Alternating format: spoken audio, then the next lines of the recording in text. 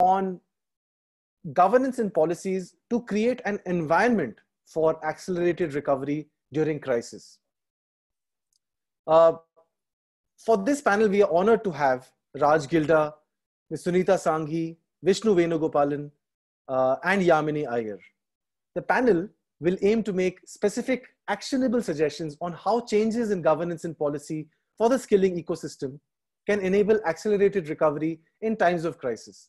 And also briefly discuss the role of upskilling, reskilling, and alternate skilling in addition to fresh skilling. Uh, it's my pleasure to introduce the panelists to you very quickly. Uh, our first panelist is Raj Gilda, who is a banker turned social entrepreneur. He's a co-founder for Lend a Hand, an NGO focused on providing vocational education in secondary schools in India. Our next panelist is Ms. Sunita Sanghi. Uh, she is an Indian Economic Services Officer. Uh, she is currently posted as a senior advisor in the Ministry of Skill Development and Entrepreneurship Government of India. Uh, she's been actively involved in shaping the skill development and employment landscape in India for a decade, for over a decade. Our next panelist is Mr. Vishnu Go Venugopalan. Uh, Mr. Gopalan, Mr. Venugopalan is an IS officer and is currently serving as managing director of the Tamil Nadu Skill Development Corporation. Prior to this, he has served as sub-collector and sub-divisional magistrate with the government of Tamil Nadu, and executive director with Chennai Metropolitan Water Supply and Sewage Board, and was an officer on special duty at Tuticorin Port Trust, Ministry of Shipping. Uh, finally, I'd like to introduce our moderator, Yamini Aiyer. Uh, in 2008, Yamini founded the Accountability Initiative at Center for Policy Research. Under her leadership, the Accountability Initiative has produced significant research in the areas of governance, state capacity, and social policy.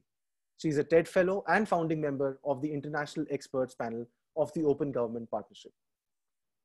Yamini currently serves as the President and CEO of the Center for Policy Research.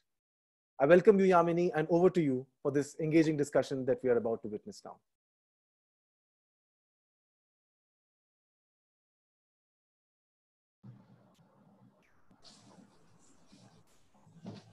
Yamini, you're on mute. Uh, uh, yeah. Oh, I'm so sorry. No, I'm not actually. Now you're not. Uh, yes, you're on yeah. now. Okay, wonderful. Uh, just to say thank you very much uh, for giving me the privilege of hosting this very important discussion where I uh, actually have very little to offer and a lot to learn. Uh, so this is, uh, so, so I agree to do this entirely selfishly so that I could learn from our esteemed panelists um, on this very, very crucial challenge.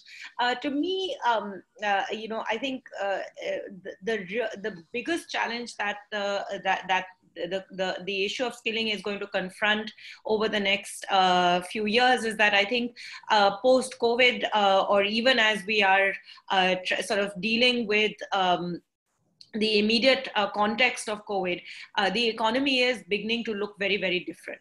Uh, the uh, and uh, in terms of both, uh, what are the le new levers? So, what what are the new levers of an economy that has to follow rules of social distancing or physical distancing, in which, in at least in some sectors, the gig economy starts and platform economy starts becoming a far greater, having far greater value and a big source of innovation and at the same time uh, how do we uh, uh, how do we confront the uncertainties of the traditional sectors of the economy uh, that have to perhaps reorient themselves uh, to be able to both protect uh, them protect their incomes and businesses at this current point in time but also be able to grow in the context of a great amount of uncertainty.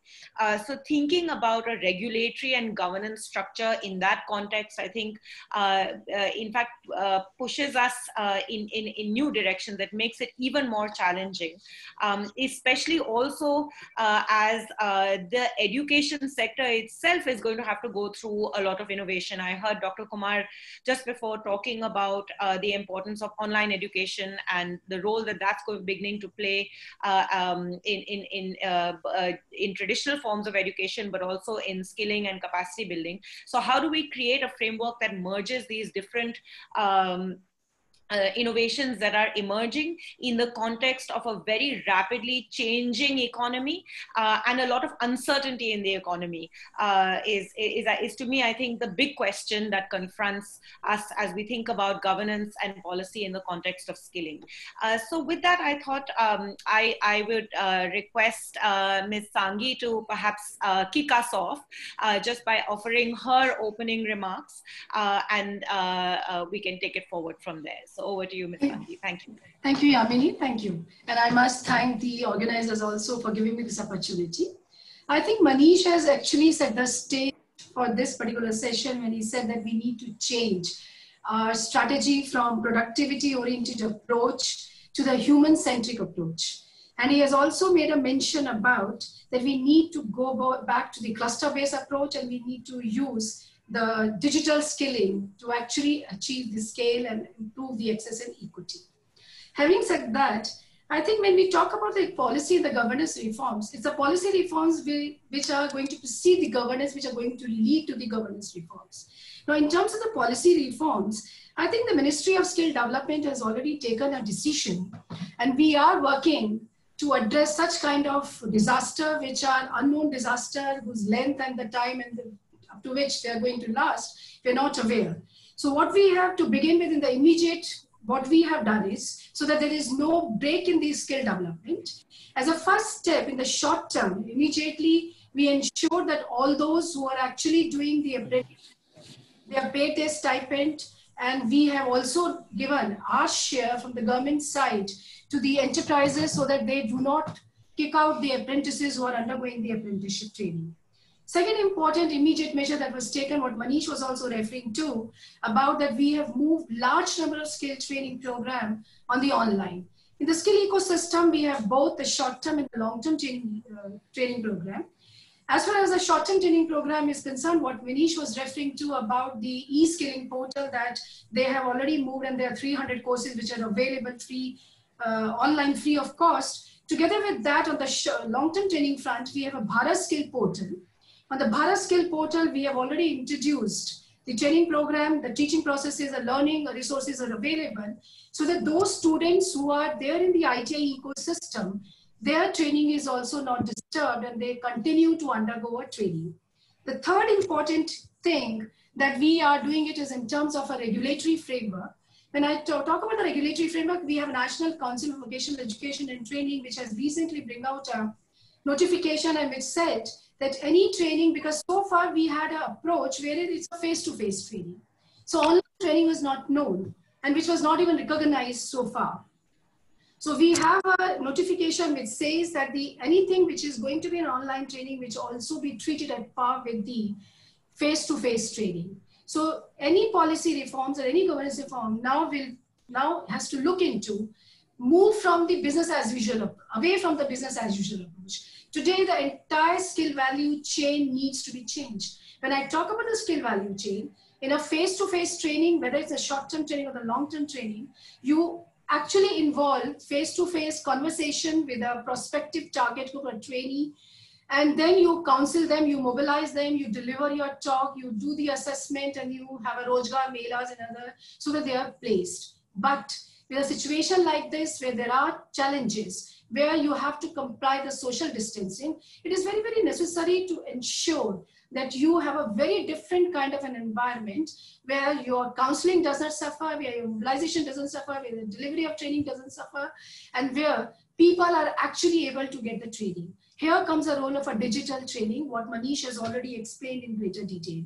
Having said that, now that was only for the skilling part. When we are doing the fresh skilling, because we all know that we are a young nation and we are trying to uh, actually address the issue and harness our demographic advantage. But then the bigger problem that has arisen now in the labor market is there were a large number of people who are working in the urban centers, tier one, tier two cities. Now they have gone back. Now, since they have gone back, there is a disturbance in the labor market.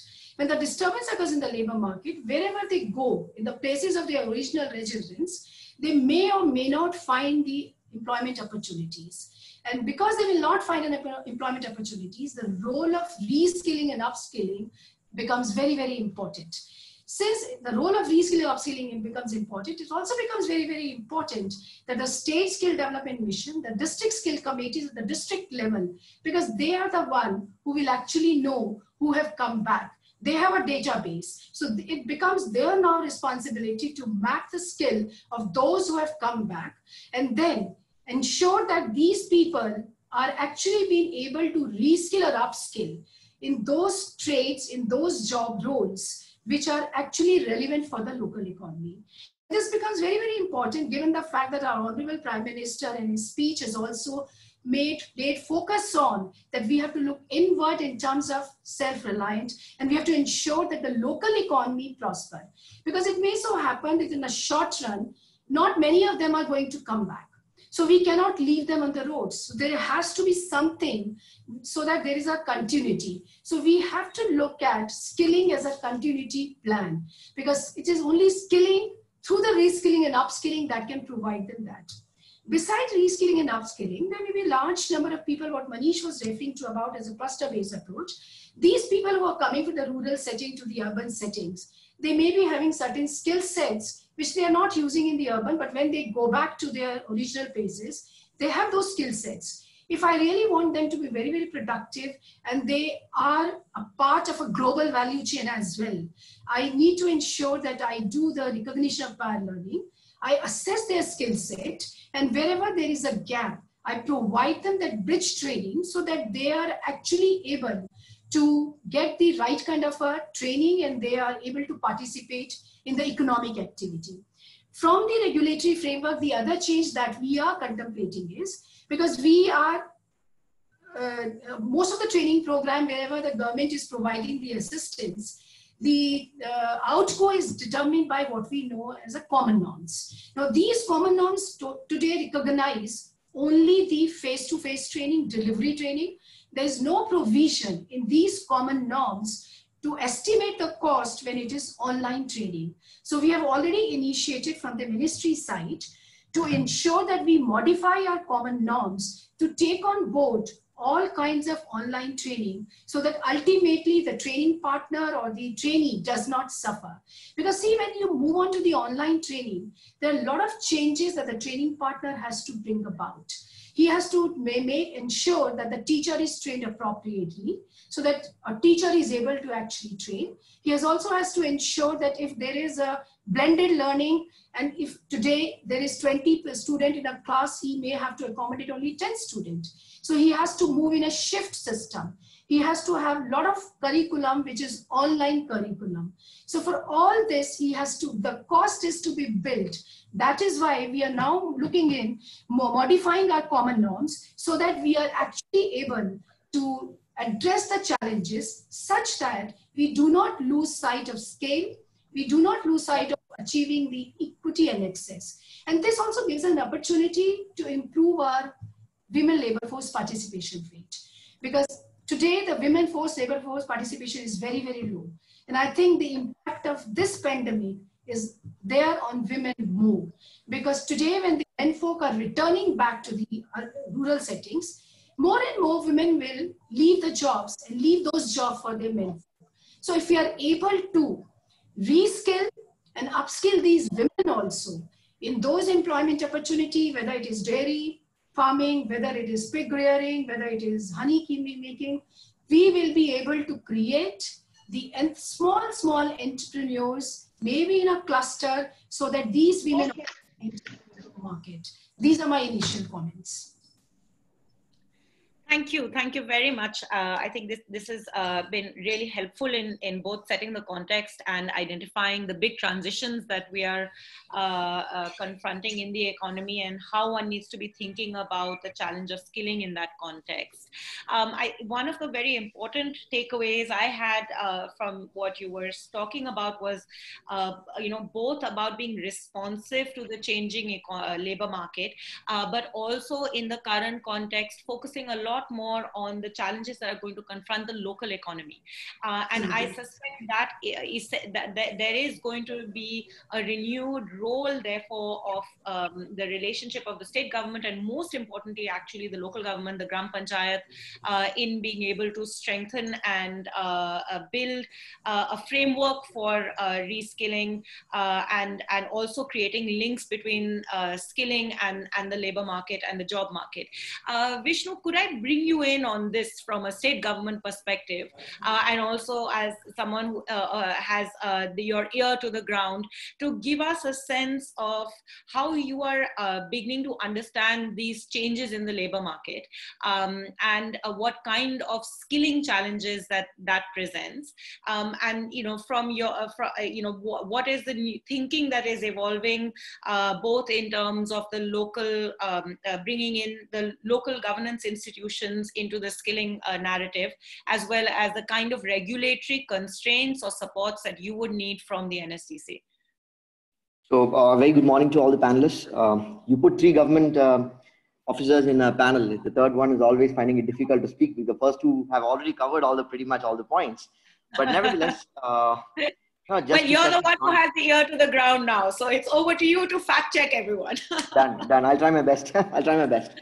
So uh, let me put across three fundamental challenges. Okay, before I go into the district or you know the ground level, three fundamental challenges that we face from the state perspective or uh, from the state skill missions.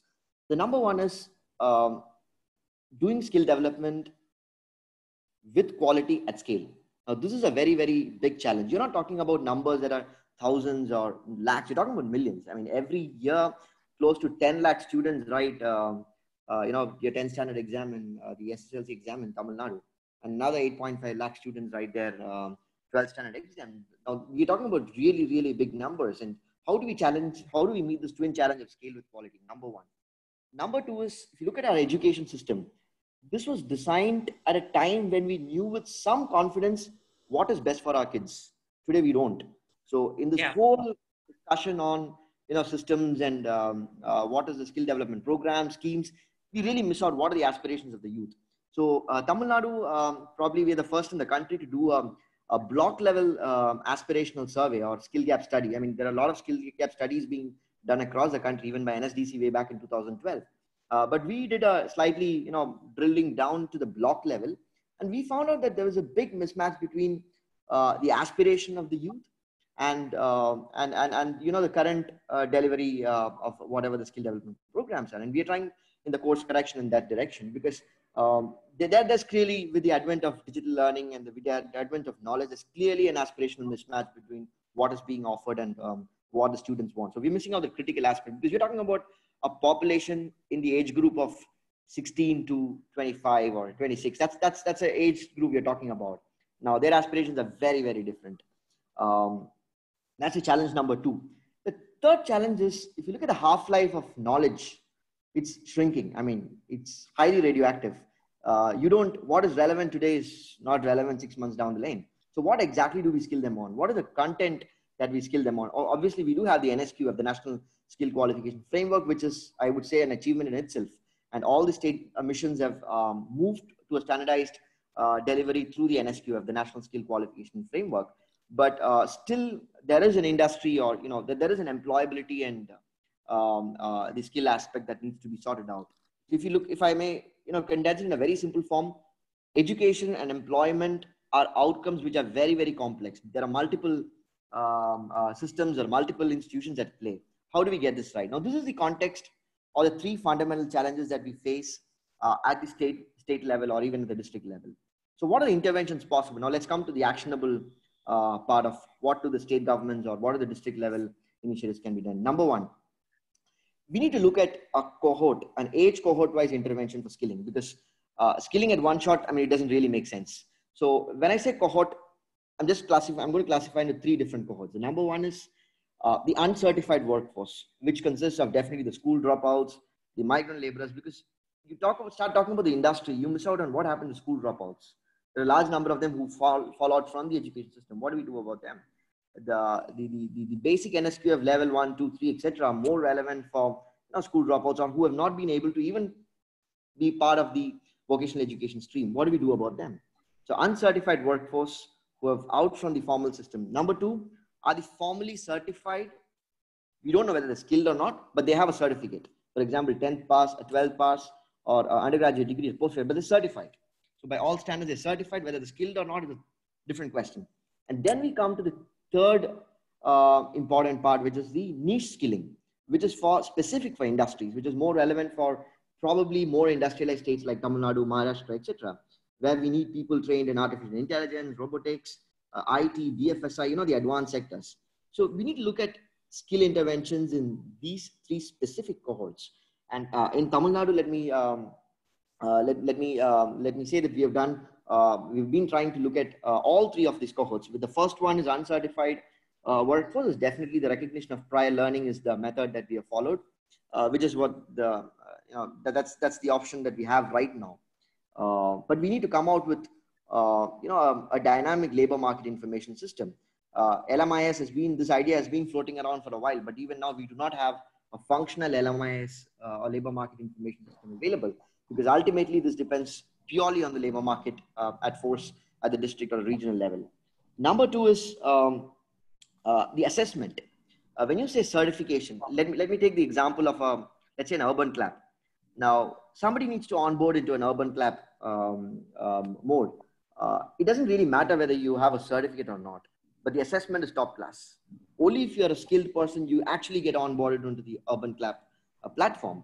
So, which means the assessment is very strong. And what you measure, definitely you can improve. So, the assessment quality needs to be really top class to get into uh, any kind of uh, qualitative outcomes in terms of skill development. Uh, third part is yes, decentralized, which was uh, spoken, um, which was highlighted by uh, Sunita ma'am. That um, I mean, to look at a decentralized cluster-based approach, um, we have the district skill committees in place, um, both on paper and in reality, because many of the committees are on paper. But yeah, with fair amount of confidence, I can say that we do have meetings being conducted at regular intervals. Um, there is a flagship scheme by Government of India called Sankalp, under which um, they have been formed, and we are also ensuring at the state level that uh, the district skill committees are actually activated. And, and I am being very upfront on that. Um, so, so I mean, a decentralized, hyper local level of demand supply matching. I mean, with with the post COVID scenario of decreased mobility, I mean, with all the constraints, we need to look at a hyper local uh, demand supply aggregation where the premium may not be really on the wages part of it, uh, but we need to look at um, you know other factors like um, maybe not moving to urban agglomerations, but uh, having it at a regional level. Now, for this, I think the skill district skill committees are going to come and focus in the months or the years to come. Um, that's definitely the way forward.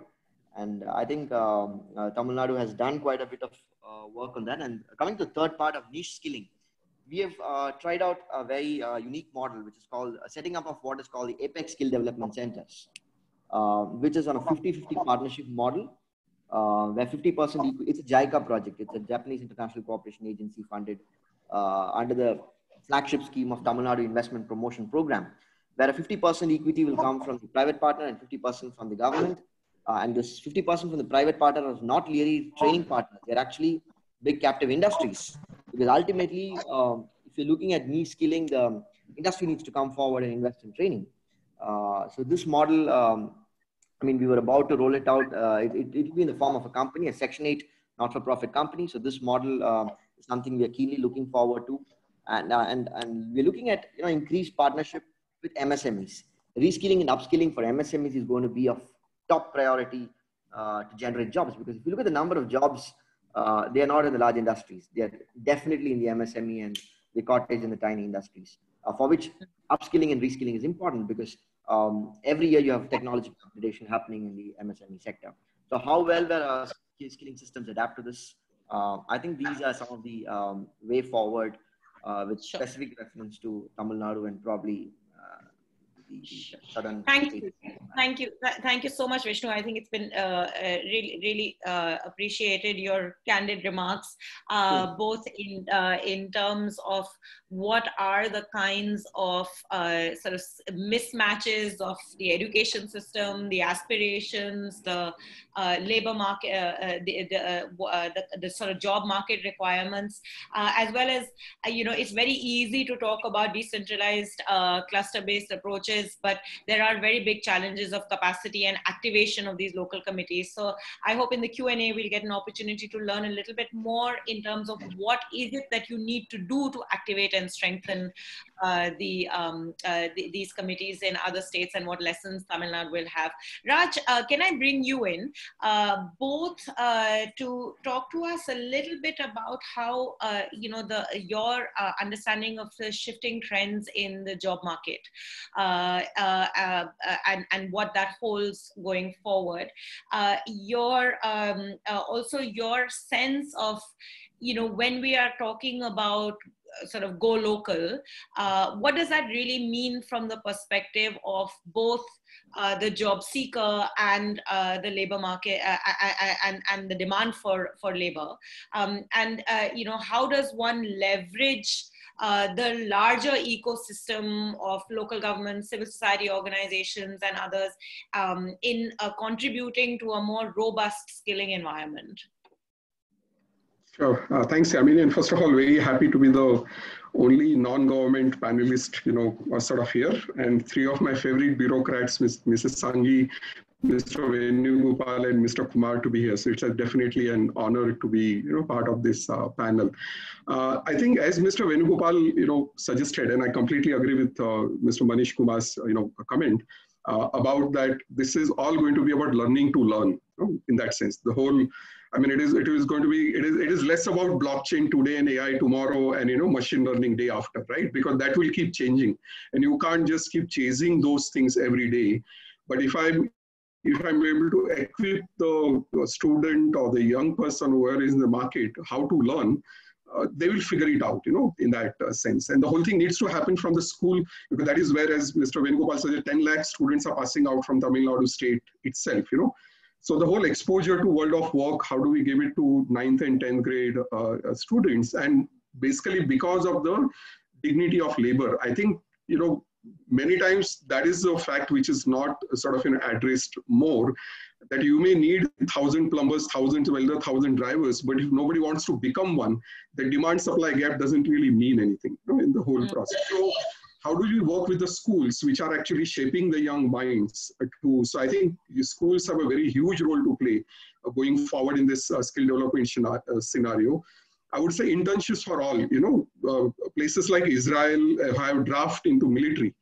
I think that we should have a compulsory internship. You cannot pass 10th grade or you cannot pass 12th grade unless you have done internship internship with sales, and it can be internship with even a shopkeeper next to you. It may not be into Reliance or Bajaj or you know any some big organized industry. It can be anywhere where you are learning to uh, learn. We should look at how each school and college can become a skill development center. You know why we don't need to have a specialized uh, you know centers and other things too. There are so many. I mean, the schools and colleges are one where they have no mobilization issue in the first place. If you speak to anybody in the skill development industry right now, the biggest issue they face is about mobilization. Whereas we have lakhs and lakhs of students who are going to school and college every day or may go to online now. So democratizing the skill development in schools and uh, colleges is very important. You know, the NSQF norms which uh, Mr. Venugopal spoke about needs to be customized for schools and colleges, right? In that sense. Now, NSDC approved auto training center may require 10 lakh rupees worth of, you know, auto training kit or auto training tools and equipment for one to become a two-wheeler auto mechanic, right? And that is necessary because, you know, they, they might be working for the big, uh, requiring an expert two-wheeler mechanic. But if you look at anybody on the street, the uh, auto mechanic whom you and me use, pure purje, all the tools and equipment can be fit within one bag, right? Which will not cost you more than 10,000 rupees or even the beauty and wellness. You know, somebody beautician who comes to my home to work with my wife, she's coming with all her tools and equipment in a single bag. So why do I need a 5 lakh rupees worth of tools and equipment to conduct a beautician course? So I think those kind of democratization of uh, sort of, you know, uh, skill development, which are needed to take it to the masses, you know, uh, in that sense. I would say that uh, in, in terms of the uh, multi-skilling is another factor. You know, most, most of the efforts currently uh, which are there in the you know, skill development sector are sort of you know focused on the single sector, becoming an expert, narrow job roles and other things. And I know NSDC is working on broadening those job roles. And as we focus more and more on micro and small enterprises, how do you bring multi-skilling? Because the typical enterprise that you're speaking about is not going to be able to hire a, a, welder and a fitter and a plumber and a carpenter. It will be one person will need to know, you know, everything. Then only they can uh, sort of, you know, uh, look at it, right? Talking about the now local institutions. So I think civil societies have a great role to play in this now, right? Whether it is private aided schools, which are run by the trust and other things too, or the civil society, which has done a great job during the, and not because I'm from civil society sector, I'm saying this, working with the, sort of migrant population and acting as that last mile, you know, reaching the last mile to uh, fill up the gap. And so viewing civil society as your partners, and which we are very happy that we have so much of outreach from the government to the civil society from this, you know, during the COVID-19 disaster. And I hope that continues going forward, right, in that sense. And other thing which you can look at is like, you know, there's a lot of talk about online, but at the same time, there's so many students who don't have any online access at all. So what are we going to do about them? So things like skills at home. Now, even within your kitchen or even within your garage, you have number of instruments by which you can learn many skills. You know, it can be kitchen gardening, it can be first care, uh, first aid, it can be food processing, it can be need, you know, uh, jewelry making, it can be, uh, you know, uh, stitching, whatever. So I think coming up with programs like those which are able to use the local resources which are at home without much of a capital investment which is required, which makes it prohibitive for it to go masses. You know, another thing, so which will require, uh, to Mrs. Sanghi's point, regulatory reforms, right, in that sense, because uh, uh to uh, sort of take it forward. And one last point about the rural, now that, you know, so many migrants are moving back, I think Gram Panchayats will have a huge role to play. You know, they have a, I mean, through Ministry of, and, and they have already done the decentralization and all that thing which we are talking about. So how do we work with the Gram Panchayat there is a skill level which have moved back to the village. There are so many service needs which are there. You talk about safe water, safe drinking water. You talk about you know uh, hygiene. You talk about Swachh Bharat, or you talk about ODF, other things too. So how do we use this migrant labor which is moving back as part of the uh, Gram Panchayat you know skill force and connecting maybe this migrant labor were skilled were, were, electrician in the uh, you know in the cities were plumber in the cities another thing too how do we connect them with schools which are located in the rural areas and they acting as a resource for the uh, sort of you know the school system which is which uh, sort of so that all the students can get sort of you know access to it right? So i would say that can look at it and shifting job trends i think the job trends will keep shifting. We just need to make our people first of all accept dignity of labor you know whatever can be done about it and secondly learning to learn in the entire Thank you. Thank you uh, for uh, giving that very important additional perspective uh, into uh, the, the conversation and particularly the emphasis that you laid on the important role that civil society plays uh, in contributing and building the ecosystem. I think we have about five or seven minutes, Saurabh, if I'm right. Uh, and uh, we have quite a few questions. So I had a, I was hoping that we could do another round of Q&A between us, but time doesn't permit that. So I'm going to try and merge a few of the questions uh, together. There's quite a few questions. Um, one, I think, fairly uh, critical one uh, that sort of picks up, uh, which I think would be interesting to learn from the panelists is on the question of female workforce participation uh, and uh, what are COVID implications. Uh, we, we, you know, COVID hit at a time when we were seeing a fairly dramatic drop in female labor force participation in India relative uh, to other countries at similar trajectories in their growth. Um, uh, what would be the implications of COVID and how does one think of skilling in that context? Um, and I'll ask, I, will also just pose a second question uh, that has come up in terms of the overarching overarching, the role of the overarching regulator, NCVET, uh, how do panelists see its role in strengthening skilling in the evolving COVID situation? Um, and I'd like you all to maybe use that as a segue to reflect a little bit more on the key regulatory shifts uh, that are going to be needed going forward. So maybe we can take these two, and if time permits, uh, or, or rather, if Saurabh permits, we can do one more round. Can I do the first? Yes, please. Yeah, as I said in my initial comments, uh, because uh, in the labor market, the female participation was going down. But since the focus is now going to be on MSME and the local, if the focus is going to be local and MSME, the role of the self-help group becomes very, very important when it comes to local. And most self-help groups are by the women. So if that is by the women, I think we need to tie up with the self-help group through the DDU GKY, and that's what the Ministry of Skill Development is already thinking of.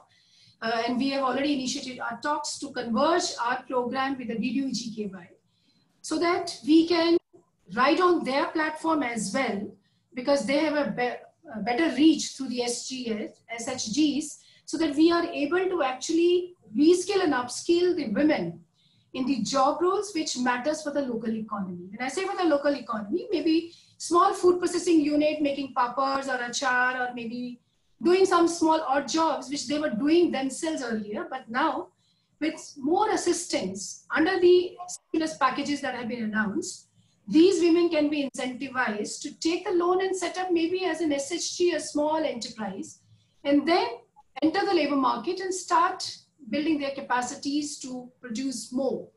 And this can only be possible if we are able to skill and reskill them again and again so that they can meet the requirement of a national labor market, national market, national market, because that is very, very important. On the second point, on overarching NCVT and how do we strengthen the regulation, as I said earlier that already NCVT has issued an order wherein it has said that the online training would be treated at par with the face-to-face training that we have been doing so far. Now we are also working on new assessment and certification because assessment, awarding bodies and certification is part of the NCVT uh, mandate. So we have already started working on the guidelines which will govern the online assessment and certification also. So that is what we are doing to address the post-COVID situation. Thank you. Uh, Raj or Vishnu, would yeah, either one of you? Uh, if I can come in, I think the about the female workforce participation, it has to beginning from making beginning from the home. You know, it is most of the time the parents who are deciding what the girl child will do and kind of orientation they get and other things too. So the more we are able to break the gender barriers in terms of that girls are not going to do only beautician course or the boys are not going to do only welding course and both can do each other's job, you know, very excellently given an opportunity. So things like those and internships, which I earlier spoke about, which were carried out in Maharashtra and Delhi as well, where the girls have become CNC machine operators, electricians, fabricators, and other things. So that has happened because the internship allowed the parents also to view their girl child doing many more of a non-traditional job role. Now and, and we have seen that more than 80% of the parents are now willing to let their daughters do the job roles which are not in the within sort of you know purview of a traditional uh, sort of female uh, domain, right? So I, I, would think that those kind of uh, uh, those kind of things may not bring results immediately, but if you want to see the long-term shift, say four or five year down the line, those things will be quite necessary to do. Great, great. Uh, Vishnu, the last word. I think we are hitting the uh, end of our uh, session. So I'll give you the la last word. Who are you asking? Who, are you, you asking me? Yeah. yeah. So, uh, I'll not take long, just a um, couple of sentences, that's it. Uh, well, um, coming to the female participation, uh, you know, it's very clear that a job in a conventional sense is not the solution because you're looking at uh, a localized opportunity. I go back to Sunita ma'am's point that uh, livelihoods, we have had multi, India has multiple opportunities with in the SGSY, then came the NLM, the livelihood missions and uh, the SSG formations. But access to capital is one critical aspect which needs to be linked with, uh, you know, uh, along with the skill development ecosystem, which is currently I feel is missing. There is no uh, organic linkage between access to capital and, uh, you know, at the end of skilling programs, you expect to get a job. Now, the job in a conventional sense is no more going to be there. It's very clear uh, especially in a rural economy. So we need to look at micro entrepreneurship, uh, look at opportunities at a localized, hyper local level is what I think is a solution uh, that we look forward to. Um, yeah, I think somebody is putting time, time, time. So I think I need. well, Thank you very much uh, to all the panelists. This has, uh, as expected, been a very, very important and insightful conversation. And uh, if only we had more time, because there's so many critical issues that have emerged.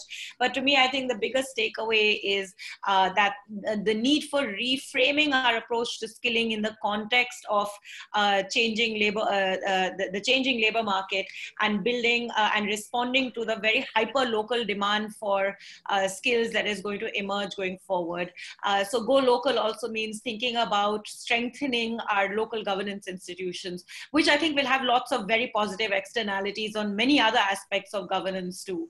Uh, so, so this is a great opportunity to empower uh, uh our third tier and our district administration in ways that will, I think, for the good of India's federal structure. So thank you very much uh, to all the panelists and over to you, Saurabh. Thanks Thank so you. much, Yamini. Thank that was you. a very, very Thank nicely. You. That was a very, very insightful uh, panel, and thanks to all the panelists. A lot of uh,